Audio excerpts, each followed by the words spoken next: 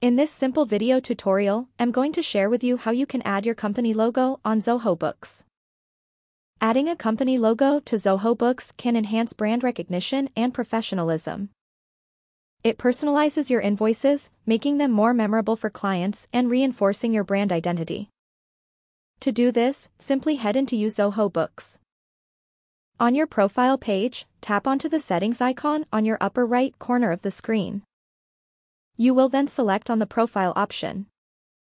You will directly get to this page where you can see the section of either adding or changing company logo.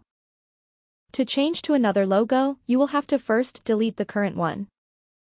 And then tap on Upload Organization logo. Choose from your files and the logo will get added successfully. This helps to distinguish your business from competitors and create a more polished appearance for your financial documents. That's how easy it is to add a logo on your Zoho Books profile.